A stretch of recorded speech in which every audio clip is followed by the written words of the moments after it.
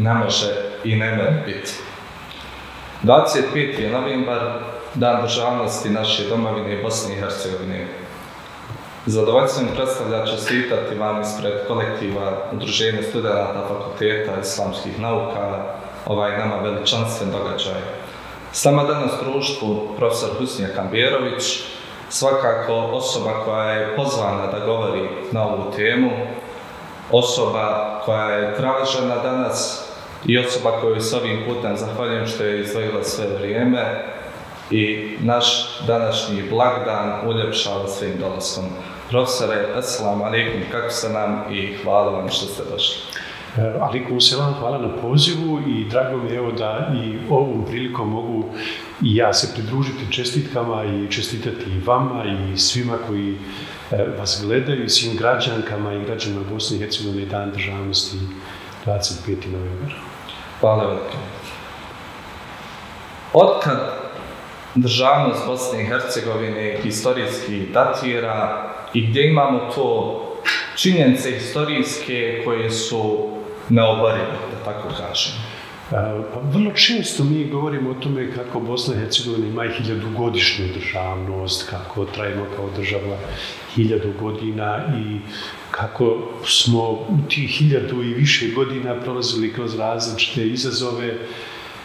I to je donekle tačno. Dakle, tačno je da je ideja bosanske državnosti doista jako stara ideja, ali mislim da uvijek treba praviti razliku između onoga što jesu moderne države i onoga što jesu predmoderne države. Jel? E, ali, e, bez obzira na tu pojmovnu razliku, ja bih rekao da E, neka organizacija e, državna na prostorima Bosne i Hercegovine naravno datira dosta daleko i mi već u desetom stoljeću imamo neke informacije o tome kako e, na ovim prostorima funkcionira nešto što je bizantijski car Konstantin Porfirogenit već nazvao zemljica ja I dakle, od te, te nekde druge polovice desetog stoljeća, pa 11. 11. stoljeće, kad se već pojavljuju neki prvi pisani dokumenti koje proizvode institucije te države, jel, a koji pokazuju kako Bosna funkcionira kao država. Jel.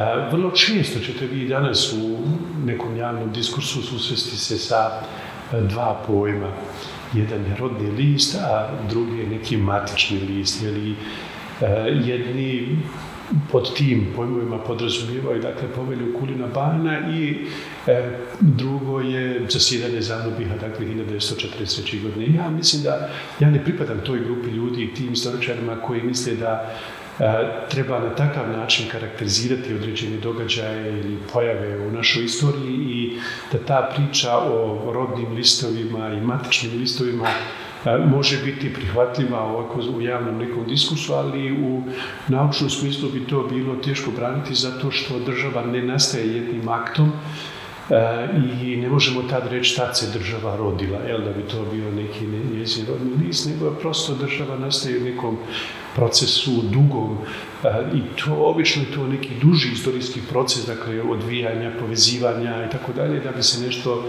da bi neka zajednica prerasla u državnu organizaciju. Ali, e, ako bismo odbacili ili zanemarili na neki način sve te neke gotovo teorijske rasprave, onda bih ja rekao da Bosna dakle, funkcionira kao država u nekom obliku e, već od desetog stoljeća, da je ona prolazila kroz različite, različite forme organizacije e, i da se ta ideja državnosti e, očuvala od, kroz čitav srednji vijek i kroz čitav osmansko razdoblje i definitivno opet kao, kao neka realnost Eh, zaživjela je sredinom 19. stoljeća da bi se evo, eh, sredinom eh, 20. stoljeća ili krajem 20. stoljeća je oživotvorila nekako i kao posve neovisna neovisna država. Samo da još se vratim, dakle, kad govore mnogi o ovoj povelji Kulina Pana, E, e, mislim da, da to jeste jedan od prvih dokumenta koji svjedoči kako institucije te bosanske države iz tog vremena e, funkcioniraju, ali to također pokazuje da, da i prije toga su te institucije već bile, već bile formirane. Dakle, da, s punim pravom možemo reći da je ideja bosanske državnosti jako, jako duboka.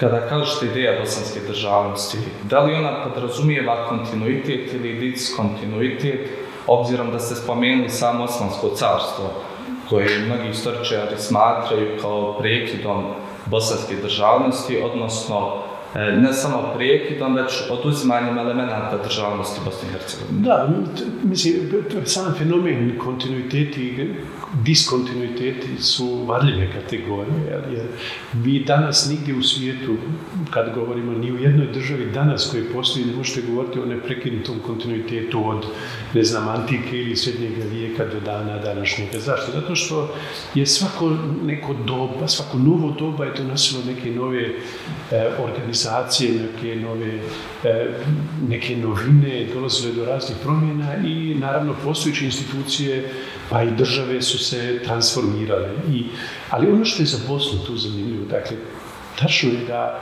sredinom 15. stoljeća e, Osmanlije u svom pohodu ka Evropi e, poslije dugih i teških borbi e, i sa bosanskom vojskom, dakle Bosanskom kraljevini su uspjele sredinom 15. stoljeća, dakle 1663. nešto kasnije i ostale dijelovi Bosne, Bosne ali srušiti i, i tada faktički prestaje postojati srednjovjekovna e, kraljevina, dakle Bosanska kraljevina i Bosna ulazi u jedno sasvim novo, novo razdoblje. I to je naravno uvijek i dugo se već kod nas raspravlja o tome da li je time prekinut kontinuitet bosanske državnosti i bosanske države, jel? Ili, eh, ili Bosna i u vrijeme osmanske eh, uprave zadržava neki svoj eh, kontinuitet. Dakle, ja bih tu bio, htio bi biti vrlo precizan. Posle 1663. godine i posle rušenja bosanskih kraljevine, Bosna kao država više ne postoji. Dakle, nju su osmanlije srušili i to nije problem samo bosanske države. To je problem uopće nekih osmanskih osvajanja koji su E, dakle, kad su krenuli sa, iz Anadolije, e, zapravo su e, sve, sve krajeve koji su zaposjedali, oni su rušili postojeći državne institucije, jer su imali namjeru jel, stvoriti neko veliko carstvo koje bi bilo, koje ne bi bilo opterećeno tim nekim tradicijama, nego, dakle, ideja je bila stvaranje jednog velikog univerzalnog carstva. Dakle, e, e, kao što su rušili institu, državne institucije drugih država, Osmanlije su tako rušile i institucije e, bosanske države i zato imamo ne samo likvidaciju bosanskog kralja, nego zapravo i neke socijalne promjene koje podrazumijevaju prekide sa dotadašnjim E, i socijalnim i političkim i političkim odnosima. Ali ono što ostaje, dakle, kad je u pitanju Bosne i Hercegovina, je e, ostaje neki, ostaju neki slojevi koji omogućavaju održavanje kontinuitete. Dakle, mi možemo prvo e, primijetiti da sigurno se na nekim kulturnim poljima ili kulturnim slojevima mogu a, osjetiti ti e, kontinuiteti, jer vi, recimo, u kulturnom razvoju e, ne možete praviti tako velike rezove kao što možete re, praviti rezove postoje ne znam, u političkom smislu. E, s druge strane, ta svijest o postojanju srednjovjekovne bosanske države, koliko god e, ona bila potiskivana, dakle, je ipak ostajala u nekim e, slojevima bosansko-hercegovačkog društva. Neki su njegovali tu ideju bosanske i, i čuvali zapravo ideju bosanske srednjovjekovne države i naravno ta, ta, ta nekako, ta ideja je e, u određenom smislu tinjala. Ona se kod nekih slojeva e, bosanskog društva zadržavala. Naprimjer, bosanski hranjevci će dugo njegovati tu svoju e, tu vezu sa srednjovjekovnom Bosnom. E, s druge strane, E, koliko je Bosna u vrijeme Osmanske uprave imala diskontinuitet u srednjovjekovnoj, u odnosu na srednjovjekovnu Bosnu, naravno da jeste, ali pustili su i neke stvari koje su e, predstavljale zapravo kontinuitet. Da, recimo, ako govorimo o pa, gotovo samom nazivu, dakle, dok su negdje drugdje, recimo čak i nazivi mijenjani, ovdje je e, taj, taj, taj, taj naziv zapravo ostao. Bosna ne funkcionira u vrijeme Osmanske uprave kao država, naravno, ona čak ne funkcionira u prvo vrijeme niti kao kompaktna cijelina, budući da je Bosna, to je, znamo, e, faktički podijeljena u nekoliko sanđaka, e, ali je jedan od tih sanđaka se zvao bosanski sanđak. Dakle, e, ostala je ta ideja koja se na neki način, E, taj naziv koji, koji, koji je e, nastavio da živi. Naravno da će da će se Bosna, dakle stara stara Bosna, srednjevjekovna Bosna, u osmanskoj, osmanskom dobu različito e, teritorijalno e, e, dijeliti.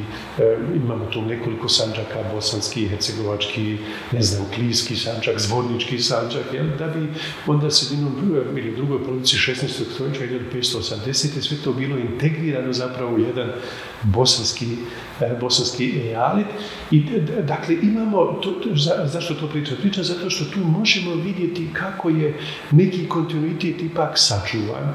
Ali ono što nije sačuvano, nije sačuvana, e, nije saču, nisu sačuvani ti atributi državnosti. Dakle, mi nemamo, Bosna nije nikakav a, međunarodni faktor, a, ona nema nikakvu, nikakav, s te, s te strane, dakle, međunarodno, međunarodnom smislu ne predstavlja E, neki, neku, neku zasebnu cijelinu, ona je zapravo u cijelosti integrirana u osmanski, e, osmansko društvo, u osmansku državu i ta ideja osmanske države, dakle ta ideja stvaranja jednog velikog univerzalnog carstva, je u, na bosanskim prostorima zapravo e, naišla na plodno tlo. Mi sad možemo dragati zašto je to bilo tako, ali uglavnom tu su ljudi dugo počeli doživljavati najveći bio, naravno, ne smije, ali počeli su doživljavati Osmansko carstvo kao, kao carstvo u kojem oni, e, kao svoj dom, dakle, i u tom smislu je, ja bih rekao, e, kao, kao neko univerzalno carstvo, rekao bih da, da, taj, da tu imamo neki, neko, neku dvojnost, dakle, koja podrazumijeva e, prvo Eh, očuvanje neke svijesti na ovu eh, postojane ranije srednjovekovne bosanske kraljevine, ali s druge strane imamo integraciju zapravo u Osmansko carstvo velikog dijela eh, bosansko-hercegovačkog stanovništva koje je onda razumjelo da u toj novoj državi E, može zapravo realizirati svoje ciljeve. Mi znamo da su veliki bosanci ili veliki broj bosanaca je e, sasvim normalno napredovao u političkoj hjerarhiji Osmanskog carstva, do, dopirali su do e, najviše moguće dužnosti, dakle oblavili su dužnosti velikog vezira, ali ne samo bosanci, to su i drugi. I drugi su, dakle, jer, jer je Osmansko carstvo bilo tako e, koncept. postavljeno ta, ta, takav koncept, dakle, da su a, svi e, građani, naravno, morali su preći, preći u islam, ali a, svi muslimani su zapravo mogli napredovati do institucije velikog vezira, dakle, samo nisu mogli biti sultani. E, I s druge strane, e, dakle, imamo s jedne strane tu sačuvanu svijest o postojanju, s druge strane integraciju u osmansko carstvo e, i, i mogućnost da dakle, napreduju u političkom smislu, u kulturnom smislu. E, mnogi bosanci su postezali najveće rezultate, školovali su se u, u e, diljem osmanskog carstva i to je nešto što, što je stvorilo neki osjećaj kod ljudi u Bosni da, da to carstvo zapravo jeste njihova, njihova domovina. E, kada govorimo o kulturnoj dimenziji koje je Bosna i Hercegovina, tadašnja Bosna, imala za vrijeme kraljevine srednjovjekovne Bosne, kultur zapravo Osmanlije dozvoljava da se ta kulturna dimenzija očuva za vrijeme njihova, jer su oni bili oni koji su nametali svoju kulturu. Pa ste, e, ti kulturne, kulturne, kulturne promjene e, se naravno dešavaju. Zašto? Zato što e, prvo sa dolazkom Osmanlija i uspostavom naravno novih sistema vrijednosti, širenjem islama, uspostavljaju se i neke, neke nove, neki novi obrazci jel, koji, koji definiraju čime se sve i na koji način E, šta, šta je to zapravo dominantno. Ali kad sam govorio o nekoj kulturnoj, e, nekoj kulturnoj, e, ovaj, nekom kulturnom kontinuitetu, recimo to, ako bismo pogledali kroz neke muzeje i tako da, onda mi vidimo da, da tu postoji, ne znam, od, od nekih ovaj, ovaj, z, kroz tekstil, recimo to mogu neki koji se bave time ovdje kod nas je Eh, neki etnolozi koji se time bavili, tačno se može eh, primijetiti da tu postoji ta taj e, kontinuitet, da nema, znači nema nekog velikog diskontinuiteta, ali naravno da će, da su Osmanlije, e, kažem, sa novim sistemom vrijednosti, sa islamom koji dolazi ovdje, postavili neke nove, nove, nove okvire e, u kojima će se i razvijati kultura, umjetnost i tako dalje i ali ono što je zanimljivo, recimo, ne zanimljivo, nego to što su činjenice koje treba na neki način prezentirati, je da recimo u Bosanskoj, e, u Bosni, je doba Osmanlija, e, nije bilo e, e, u tom smislu nekog nametanje jedinstvenih kulturnih obrazaca i tako dalje.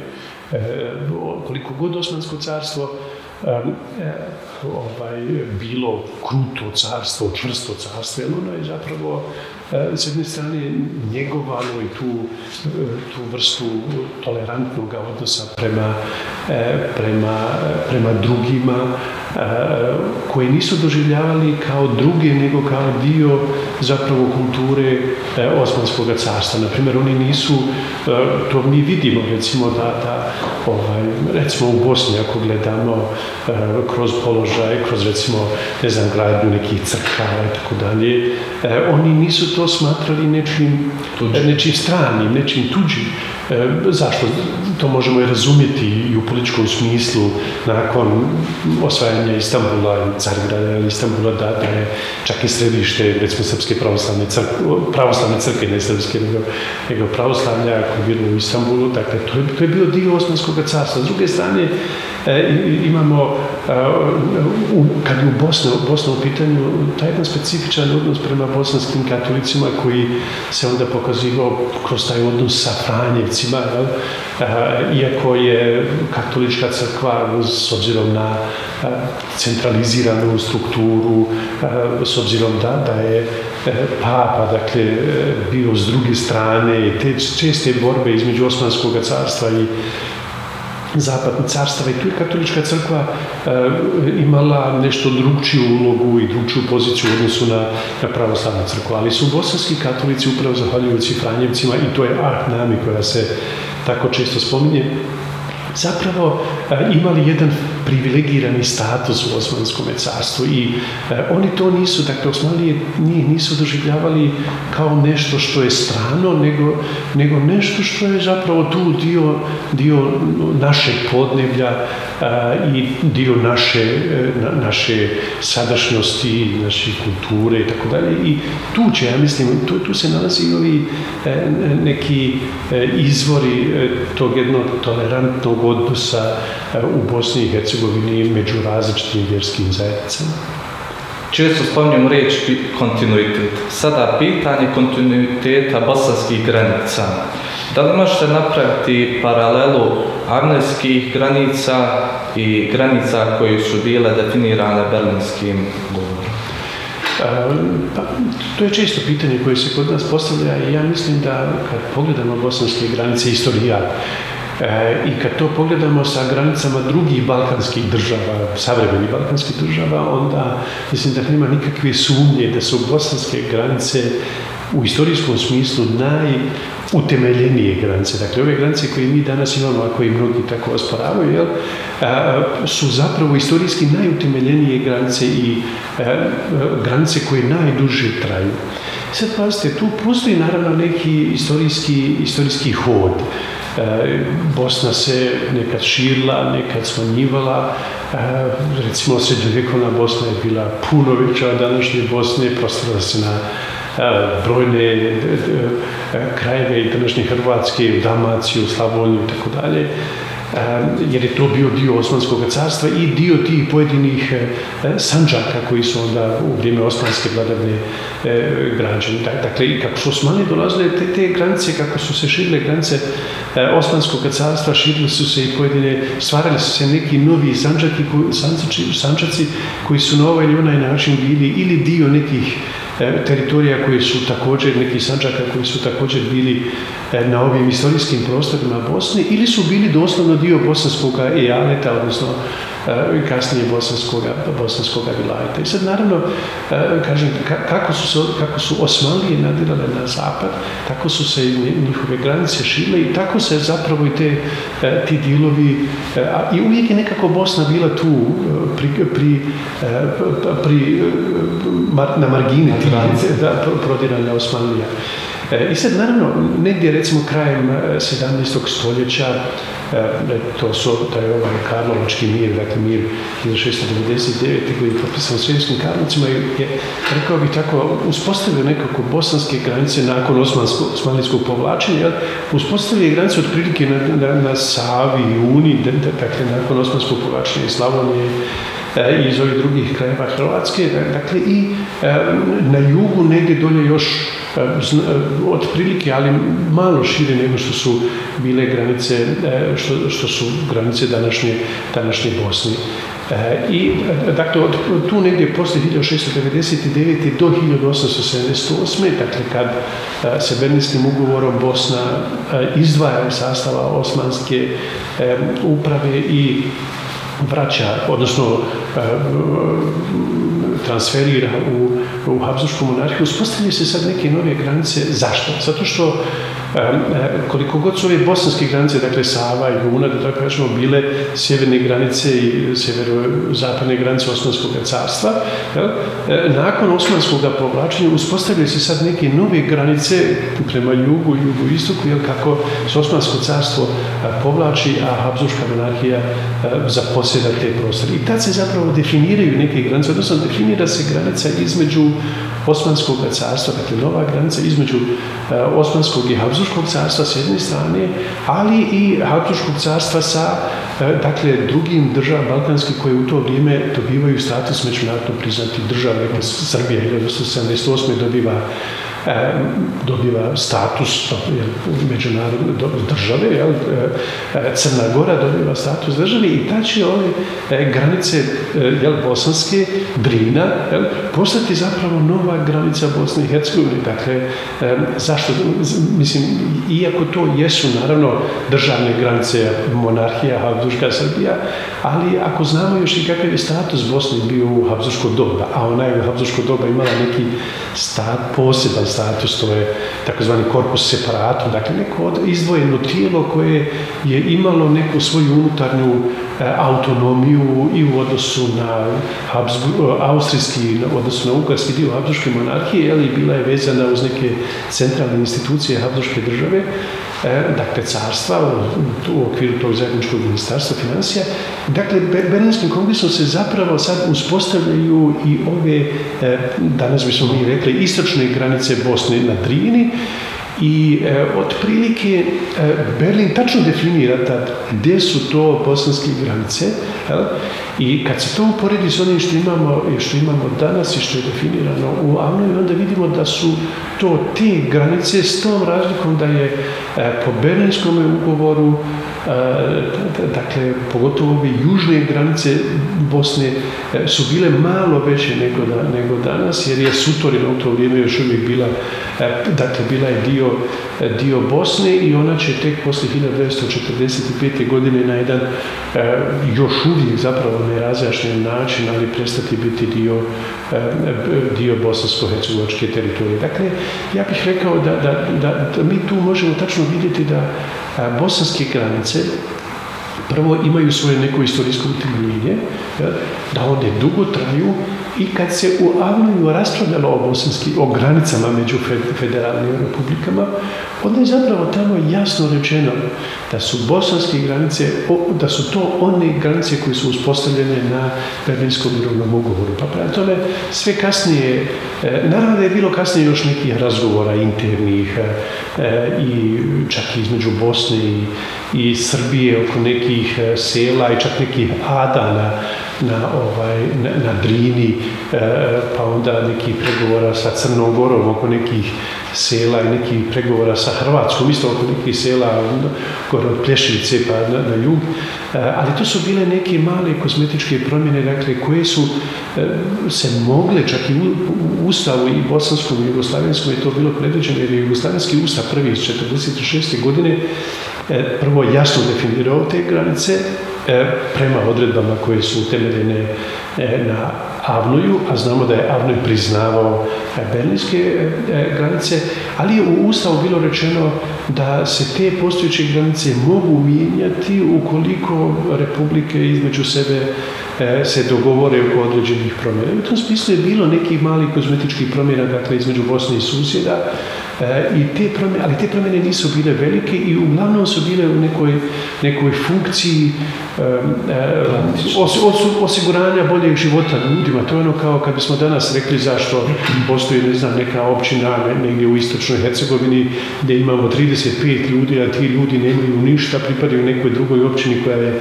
ne znam, 100 km daleko eh, od njih, a ne pripadaju drugoj nekoj općini koja je 13 km daleko od njih gdje bi se mogli liječiti i tako dalje.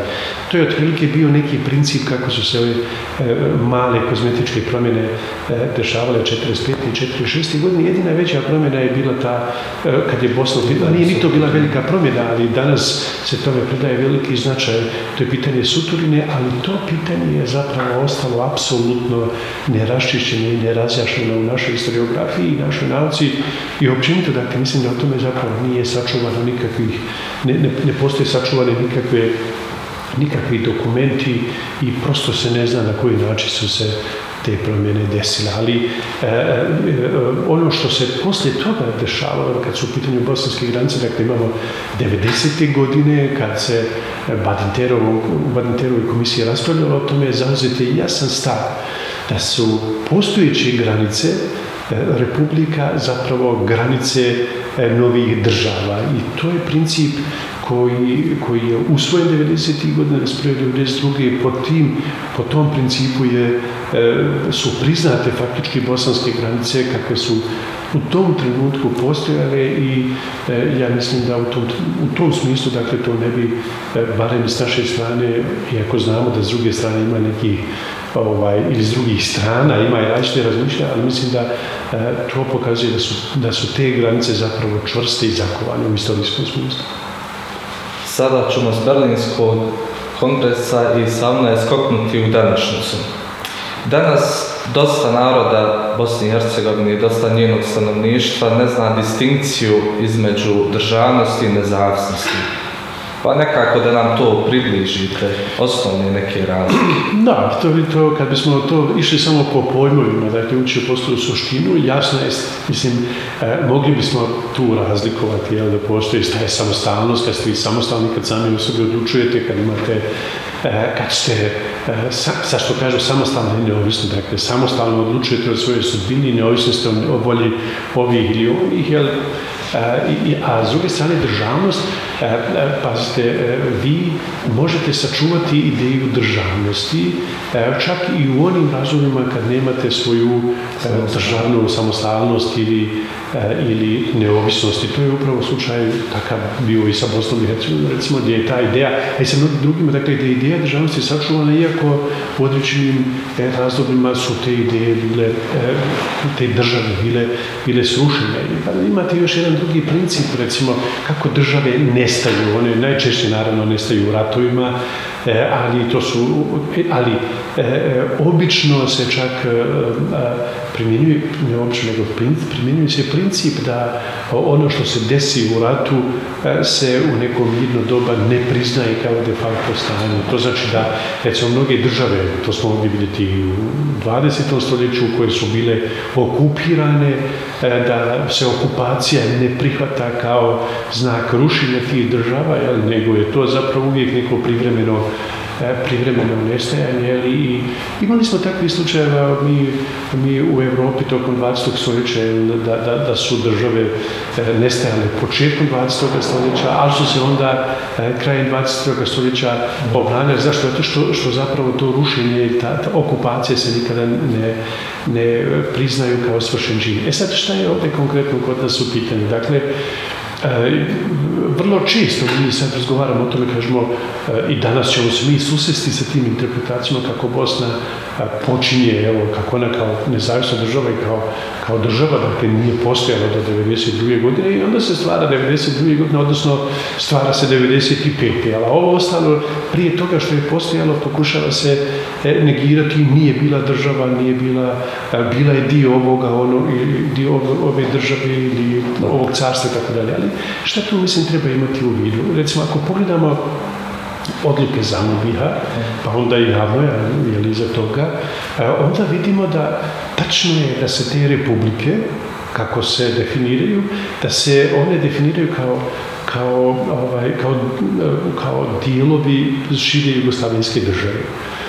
E, a i tu je upravo to pitanje sad borbe za Bosnu ili neke druge republike. Ali šta je podrazumijevalo, e, šta je podrazumijevala borba za ravnopravnost, na primjer, u Jugoslavijskoj državi, e, u socijalističkoj Jugoslaviji, kad Bosna i Hercegovina nije bila međunarodno priznata država, jel? E, ali je bila dio Jugoslavijske republike, Jugoslavijske federacije kao e, ravnopravna federalna jedinica, dakle kao republika. E, šta su radili tadašnji politički lideri? Kroz tu borbu zapravo za ravnopravnost unutar Jugoslavenske federacije, oni su faktički njegovali bosansko-hercegovačku državnost. I čak kad gledate i odluke 43. odluke ili stavove u prvom ustavu 46. jugoslavenskom i bosanskom, kasnije promjene kroz, to su ti takozvani amandmani koji se ne donose na postojeće ustave, kako se Bosna definira? I kao i druge republike, oni ih, oni ih definiraju kao narodnu državu, kao socijalističku državu, Eh, dakle, oni to definiraju kao državu. Eh, eh, e sad, naravno da Bosna i Hercegovina kao druge republike u Jugoslaviji nije imala puni međunarodni državni legitimitet. Ali ja bih čak bio sklon tome da kažem da iako nije imala punu, nije imala nikakvu, ili nije imala punu međunarodnu status, jel da, da, da je ona zapravo imala jako puno elemenata koji su čak u odnosu na ono što mi danas imamo bili puno snažniji element državnosti nego što, što mi to vidimo u današnjoj Bosni i Hercegovini. Na trag toga što govorite, kažemo danas da smo samostalni. Imamo činjenično stanje da u manjem bosansko-hercegovačkom entitetu se ne obilježava današnji dan. On se pozivaju na zakon koji je izlasan u Narodnoj skupštini RS-a, koji, kako kažu, je u skladu sa Dejtonskim. Kakvi to komentirate? Jespa li samostalni i zašto se ne obilježava dan državnosti u manjem bosansko-hercegovačkom Da, pa Bosna i Hercegovina je sigurno nezavisna i međunarodno priznata država. Nezavisna onoliko koliko su i druge države e, u savremenom svijetu E, nezavisne. Vi znate da ni danas nigdje u svijetu nemate e, neku, pa šak ni, ni Ameriku ili znam bilo koga, neku veliku zemlju koju mogu biti apsolutno e, samostalne i apsolutno neovisne u tom smislu od volje, volje drugih. Dakle, živimo u jednom globaliziranom svijetu, da tako kažem, gdje vi ne možete se oslanjati samo na vlastitu volju, nego zapravo je jako važno kako, kako surađujete i kakva je vaša interakcija sa drugima. Što se tiče Bosne i Hercegovine, dakle, mi imamo međunarodno priznanje. Bosna i Hercegovina je međunarodno priznata država, ona funkcionira kao takva. I e, to međunarodno priznanje koje je Bosna dobila 1992. godine dobila je upravo zahvaljujući, e, pozivajući se na e, odredbe koje je e, koje su donesene od 43. pa onda kroz taj razvoj do Ustava 74. godine. I zato mislim e, da, da zbog toga je e, ovaj važno naglasiti da su ti bosanski korijeni današnje nezavisnosti zapravo evo duboki bar ti 70 nešto godina. Nije čudo da su recimo u Skupštini RS-a 93. je to bila donijeli jednu odluku po kojoj oni poništavaju odluke prvog zasjedanja Zanobiha iz 43. godine kao da njih neko pite, kao da oni imaju mogućnost, kao da imate mogućnost poništiti neke odluke koje su donesene e, prije 50-60 godina. Dakle, vi možete imati određeni stav prema tim odlukama, ali su to činjenice da su te odluke postojale i da vi ne možete te odluke e, sad promijeniti. Ali šta se dešava sa, sa, sa Republikom e, u, u, u RS-u? E, njihov problem je što oni E, pokušavaju nametati, ja mislim da su to političke elite, obične ljude, to niko ne pita, oni pokušavaju nametnuti da sve što je postojalo prije 95. godine zapravo nije postojalo, jeli, da, da mi nastavljamo, da, mi, da, mi, da, da se Bosna i Hercegovina zapravo stvara tek 95. što je apsolutna e, istorijska, istorijski falsifikat.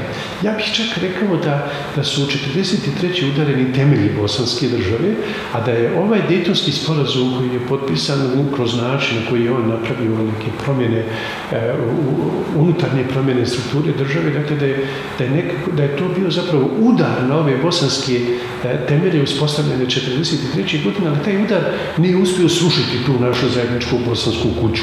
Ali je činjenica da mi posljedice tog udara e, živimo, da ga osjećamo i da su one zapravo tu, da su one istorijska činjenica i ja mislim da o tome treba voditi računa. Danas mnogi naši prave, po mom mišljenju, zapravo neku, e, neku, neku grešku, jel, kad kažu mi ćemo sad to sve e, poništiti i tako dalje. E, to stvor, prosto su se stvorile neke nove istorijske okolnosti, neke nove istorijske činjenice s kojima mi moramo naučiti da živimo. Čak ja znam da je 95. godine, recimo kad je potpisivan Dejtonski sporazum, da je e, ta ideja bila, naravno različite su bile, e, različiti ljudi su imali različite ideje, različite vizije u kom pravcu to treba dalje da se razvija, ali je, ali je e, veliki broj ljudi, a i sam Izetbegović koji je to potpisivao, ideja je bila da treba pustiti vremenu da se to na neki način integrira. Mislim da su i kreatori Dejtonskog sporazuma Holbrook i tako dalje, misli da će to biti nešto privremeno što će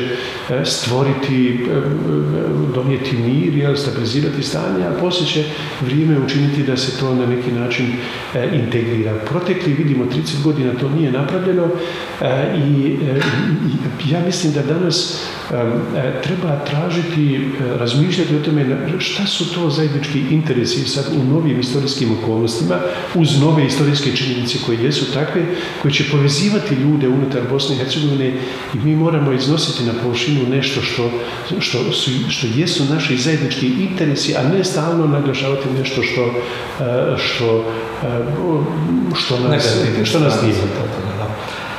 Da li možemo govoriti o bošnjacima kao državotvornom narodu? I da li se možete osvrnuti na ime bošnjani, bošnjaci i kako je tekla ta srbizacija, nazvao bih je iz druge strane kroatizacija samog imena, odnosno identiteta? To se postavlja prvo pitanje, često pitanje i mnogi danas e, naglašavaju ili pokušavaju promovirati tu tezu kako, kako bošnjaci nisu državotvoran narod, kako se nisu bili za državu i tako dalje. Ono što je istorijska činjenica je to da, e, da bošnjaci doista nikad nisu težili stvaranju vlastite nacionalne države. E, I to je bio, to je bio isto, jednostavno istorijski hod ili, rekao bih tako, ideja koja je bila prisutna kod Bošnjaka, građenja dakle, neke zajedničke, zajedničke države koja ne bi bila e, nacionalna država Bošnjaka. Mi znamo da su se negdje drugi na Balkanu, e, u Evropi stvarale, stvarale nacionalne države i uvijek je e, nekako krajnji cilj e, tog procesa nacionalne integracije bio stvaranje nacionalne države. Kod Bošnjaka je to išao neki drugčiji proces. Dakle, Bošnjaci nikad nisu imali ambiciju stvoriti svoju, svoju nacionalnu državu, a, i njihova orijentacija je uvijek bila okrenuta zapravo prema Bosni i Hercegovini kao, kao okvir unutar kog su oni želeli stvarati neku državu koja može e, normalno, normalno funkcionirati. Čak, recimo, možda je posljednji pokušaj tu bio jel, početkom 19. stoljeća kad, kad, su se, kad su počeli zapravo ti procesi e, koji su onda sredinom 19. i drugoj polici 19. stoljeća na Balkanu doveli do stvaranja nacionalnih država u Srbiji, u Crnoj Gori, jer imamo u to vrijeme neki sličan pokret, sličan, ne, naravno ne po svemu jednak, ali sličan i u Bosni i Hercegovini i sa Kradaščevićem, ali ni tada nije bila ambicija stvaranja neke bošnjačke nacionalne, nacionalne države. Ali jeste bila nekako ideja koja je između ostalog i taj pokret imao neku, neku viziju u Bosni, ali ne nikad kao, kao isključivo E, e, bošnjačke nacionalne države. E, sad, sa, u tom smislu, šta, šta je pojam Bošnjak je naravno prolazio različite ovaj, ra, prolazi određene transformacije. E, u, u, u, u prvo vrijeme pod pojmom Bošnjak se zapravo, e, on, je, on se odnosio prvo na regionalnu pripadnost. I mi dan danas imamo jako puno E, primjera jel, gdje, gdje se ljudi tako i prezivaju Bošnjak, gdje imamo nazive Bošnjaci, e, nazive sela, drugih nekih lokaliteta i u Bosni i izvan Bosne, u, u Slavoniji recimo gore imamo e, čitavi kompleks, imamo Bošnjake na, nasilje, ali ne žive tu Bošnjaci, to žive Hrvati. Jel. Neki koji su i u Bosni i Hercegovini dakle, imali pojam, koristili pojam Bošnjaci, nisu ga koristili u ovom suvremenom smislu nacionalnom, jel, nego je taj pojam Božnjak zapravo podrazumijevao neku, e, neku e, geografsku ili regionalnu pripadnost. Svi stanovnici Bosne su bili Bošnjaci. I sad je tu naravno odbio se jedan, jedan proces građenja nacionalne svijesti, e, što je proces koji, je, koji su se odbijali u modernu doba. Dakle, tokom 19. stoljeća imamo te procese građenja nacionalnih identiteta, gdje su se od te zajedničke skupine ljudi, da malo sad to ovako eh, možda, možda pojednostavljeno objasnim, ali od svih tih ljudi koji su, se poči, koji su dotad se nazivali bošnjacima kao stanovnicima Bosne i Hercegovine, eh, jedan dio se počeo e, nacionalizirati u, u, u srpskom smislu, neki dio se počeo nacionalizirati u hrvatskom pravcu, a ovaj dio e, će e, zapravo, kako bi se razlikovao od, i od jednih i od drugih, e, vrlo često nazivati samo muslimani, jel? E, da bi onda ta, taj proces E, se tokom 20. stoljeća e, završio, evo recimo 93. godine kroz e, nominaciju Bošnjaci. Ali ono što, što je tu recimo zanimljivo, mi imamo niz informacija, istorijskih izvora recimo koji govore kako se odvijao taj proces e, i kroatizaciji u Bosni 19. stoljeću. Naprimjer, ovdje u Sarajevu, i o tome je pisao eh, profesor Vladislav Skarić, recimo jako puno, bilo je srpskih nacionalnih radnika, ne znam to, ovaj, Petranović, dakle, koji su, E, koji su uz podršku srpskih trgovaca, e, bogatih ljudi, zaustavljali recimo seljake koji bi dolazili u Sarajevo na Sarajevskoj Malti, dakle na, ovaj, na granici, kad su dolazili da u Sarajevskoj pijacama prodaju proizvode i tako dalje, oni su ih zaustavljali i e, ubacivali su im u džep, ne znam koliko je toliko dinara i no, novca nekog, ja, e, uz uvjerenje, dakle uz to širenje srpskog imena, oni su pitali, kad vas drugi put neko pita, nemojte govoriti da ste vi pravoslavni, nego ste vi Srbi. I to, ta srbizacija je zapravo vremeno se naravno, naravno širila i taj dio populacije e, u Bosni i Hercegovini pravoslavne se, dakle u nacionalnom smislu e, e, transformirao ili integrirao u srpsku naciju i to je nešto što je istorijska činjenica, kao što se veliki dio katoličkog stanovništva integrirao zapravo u hrvatsku naciju i to je e, istorijska činjenica, a ovaj dio e, muslimana jel, će se integrirati u tokom 20. stoljeća prvo u muslimane kao naciju, a onda E, kraj 19. kraj 20. stoljeća, dakle 93. na Bošnjačkom saboru promijeniti naziv u e, Bošnjačku. E, I sad tu postoji naravno i različite neke različite, kako, koji, čak i zloupotrebe tih, tih pojmova, jel, gdje, gdje, gdje bi neki htjeli zanemariti ti 100, 150 godina u kojima se odvijao proces E, nacionalne integracije Srba i Hrvata u srpsku ili hrvatsku naciju. To su istorijski procesi koji su prosto završeni. Mi sad možemo biti sretni ili nesretni zbog toga, ali to su istorijske činjenice koje mi više ne možemo vratiti. Ne možemo mi u istoriji sad vratiti točak istorije i vratiti se na 19. stoljeće i e, e, e, početi nekako od Dakle, nametati drugčiju i nacionalnu integracijsku ideologiju, drugčije istorijske procese i tako dalje. To su stvari koje su e, završene na koje mi e, više ne možemo uticati. Sad drugo je pitanje zašto se ta zajednica e, ljudi koji su se nazivali koji su živjeli u Bosni i Hercegovini, koji se nazivali bošnjacima, zašto se integrirala u tri nacije, a ne u jednu naciju. Negdje, negdje, je, negdje su se zajednice koje su imale, e, pripadale različitim vjerskim identitetima, uspjele integrirati u jednu naciju. Na Balkanu su to recimo primjer Albanci, koji su pripadali različitim e, vjerskim zajednicama i muslimanima, najveći dio muslimana, ali bilo ih i pravoslavnih katolika, ali su se oni integrirali u jednu jedinstvenu albansku naciju. U Bosni to nije bio takav slučaj. E, ovdje se muslimani, Srbi i Hrvati nisu integrirali u jednu naciju, e, nego su se, nego su istorijski procesi prosto išli takvi su kakvi su išli u tom pravcu da se oni integriraju u tri različite nacije. I to su sad istorijske činjenice e, koje ja mislim da, je, da, da bi bilo bolje e, uvažavati e, nego sad pokušati e, nametati nekima drugima neke druge identitete koje ti ljudi prosto e, ne žele prihvatiti. Profesore, veliko državne ideje naših susjeda, jedni s istoka, drugi iz zapada, žive li danas, ako žive, na koji način se iste implementiraju i kako ga običan građanin doživljava? E, nažalost, mi se dugo godina suočavamo s tim velikodržavnim projektima i ono što danas vidimo je da ti projekti nisu dio istorije, nego su oni zapravo dio e, naše, naše svakodnevnice. E, nije to uvijek bilo tako. Bilo je nekad E, razdoblja i u bosanskoj istoriji i u ovoj balkanskoj istoriji, jer kad su ti velikodržavni projekti bili e, marginalizirani, e, jer je tu važno da ti projekti ne žive u vrhovima vladajućih elita. Oni će biti prisutni u nekim skupinama uvijek. Ali je važno da vladajuće elite u ovim balkanskim zemljama Eh, zapravo se odri, bilo bi dobro kad bi se vladajući elite odrekli tih eh, velikodržavnih projekata. Naprimjer, 1970. godine eh, Marko Nikezić, upravo vrijeme predsjednik centralnog komiteta komunista Srbije, i došao u Sarajevo i održao jedan svoj veliki, to je njegov takozvani sarajevski govor, kojim se on obratio sarajevskoj i bosansko-hercegovačkoj političkoj eliti, E, i obratio se Srbima koji žive u Bosni i Hercegovini i on je u tom svom govoru, govoru rekao otprilike ovako. Ne možete očekivati od nas, i obratio se izravno Srbima koji žive u Bosni i Hercegovini, ne možete očekivati da Srbija vodi brigu o svim Srbima u Jugoslaviji, jer politika e, koja podrazumijeva da Srbija vodi politiku o svim Srbima u Srbiji, u Jugoslaviji nije ništa drugo do velikosrpska politika.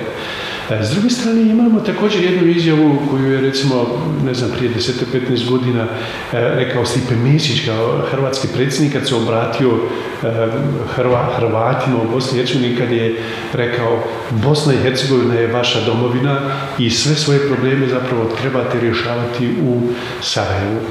To su bili neki primjeri koji pokazuju kako lideri iz susjedstva zapravo imaju, imaju razumijevanja prema Bosni i Hercegovini. Danas, nažalost, e, mi vidimo da kod ovih vodećih ljudi u našim, našem susjedstvu e, ne razvija se ta ideja koja bi podrazumijevala, bez obzira što oni naglašavaju da se bore za i priznaju nezavisnost, suverenitet integritet Bosne i Hercegovine, ali mi vidimo da oni sve zapravo rade kako bi se i ta nezavisnost, taj suverenitet E, na neki način e, bacili pod noge, a promovirali te veliko, veliko državne ideje. Šta znači recimo taj koncept e, ne znam, srpskog sveta? To je toliko daleko od onoga o čemu je govorio Marko Nikezić.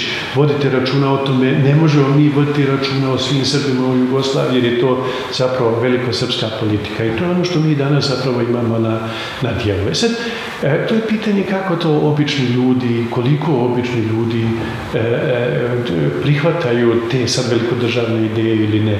Ja sam uvjeren da, da su to eh, još uvijek produkti e, e, političkih elita, pri čemu naravno e, ovaj, sam svjestan realnosti da jedan veliki dio, pa čak i evo e, e, bosanski bosanskih Srba, Srba koji žive u Bosni i Hercegovini, dakle i koji žive u Republice Srpskoj, e, da, da razmišljaju da su na neki način pod tim uticajem ovi, ovih priča o velikosrpskim idejama, o stvaranju jedne zajedničke države, o integraciji sa, sa Srbijom. I, i ja sam siguran da veliki broj ljudi razmišlja nekako E, i da, i da razmišljaju u tom pravcu. I taj zov nacionalne države ja ne bih uopće, ne bih uopće zanemario. Ali na koji način mi se možemo e, suočiti s tim i na koji način zapravo mi možemo i dalje uvjeravati, mi, mislim svi mi građani Bosne i Hercegovine, e, kako možemo uvjeravati i druge da, da je Bosna i Hercegovina naša država.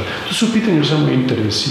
Dakle, onog trenutka kad ljudi u Bosni i Hercegovini doista razumiju da u Bosni i Hercegovini mogu e, ispoljavati eh, i zadovoljavati sve svoje interese, oni će početi se više obraćati prema toj državi. Ja ću navesti samo jedan primjer eh, iz, iz, iz historije ne toliko daleke koji je zapravo uticao na to da, da, da se Bosna i Hercegovina počne doživljavati sve više kao, kao, kao naša vlastita domovina. Recimo, posle zemlje tresa u Bosanskoj krajini 68. 69. godine e, bilo je veliki diskusija i rasprava oko toga na koji način E, i koja sredstva treba investirati, izdvajati i na koji ih način investirati za obnovu krajeva pogođenih zemlje tresom Bosanskoj krajini. Znate, tada je Banja Luka razrušena i tako dalje.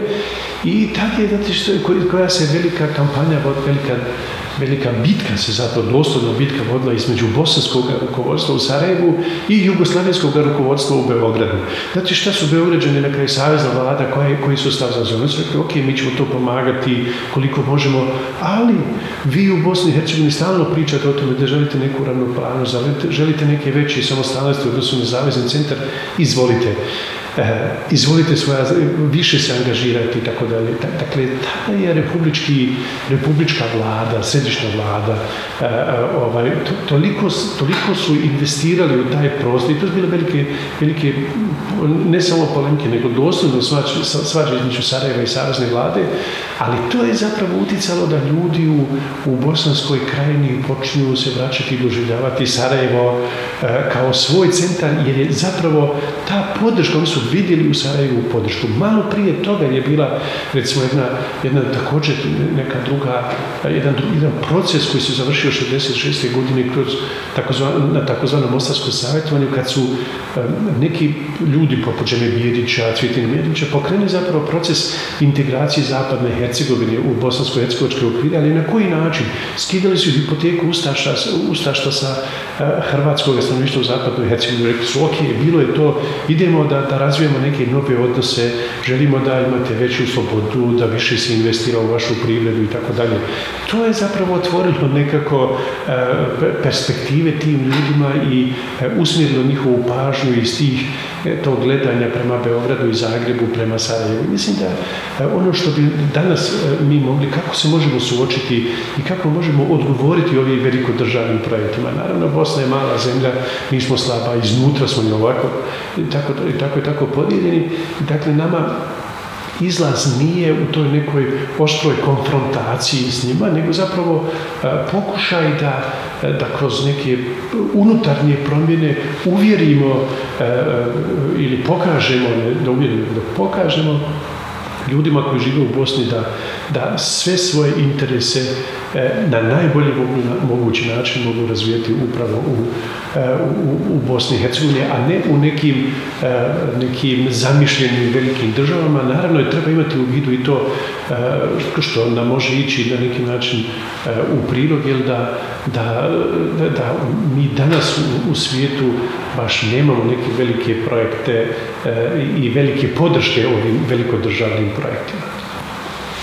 Princip teritorijalne cjelovitosti i princip prava svih građana Bosne i Hercegovine i naroda.